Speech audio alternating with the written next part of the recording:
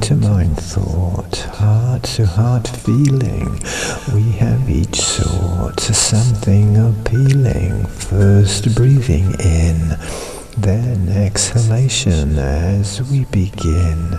Calm meditation, yesterday's shades, tomorrow's desiring, always it fades only requiring presence of mind, calm meditation, drawing air in, then exhalation, a rhythm where time loses all meaning and words in a rhyme.